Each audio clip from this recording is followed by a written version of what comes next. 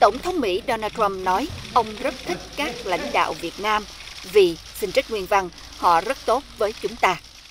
Phát biểu tại nhà máy chế tạo máy giặt của tập đoàn Whirlpool ở Ohio ngày 6 tháng 8, ông Trump nhắc tới việc các đối thủ cạnh tranh của Mỹ chuyển dây chuyền sản xuất sang Việt Nam và Thái Lan.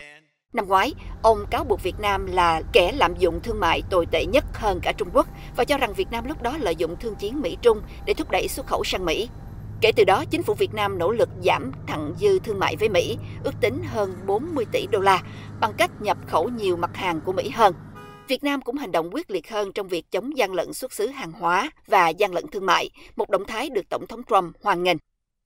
Thái Lan và Việt Nam, hai nơi mà tôi rất thích các lãnh đạo, ông Trump nói trong bài phát biểu tại Ohio, được đăng toàn văn trên trang web của Tòa Bạch Ốc, với trích dẫn nguyên văn, họ rất tốt với chúng ta.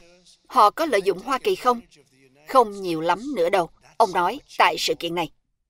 Chuyến thăm và phát biểu tại Ohio là một phần trong chiến dịch tái tranh cử Tổng thống Mỹ của ông Trump, trong đó ông tập trung vào các chính sách mang việc làm trở lại nước Mỹ và giảm thặng dư thương mại với nhiều nước.